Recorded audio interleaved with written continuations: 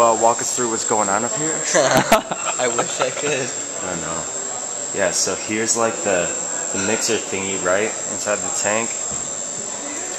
And, um, pretty nasty. Yeah. Smells like french fries. Smells like french fries. Yeah, you can't smell on camera, I guess. Yeah, dude. It's pretty legit.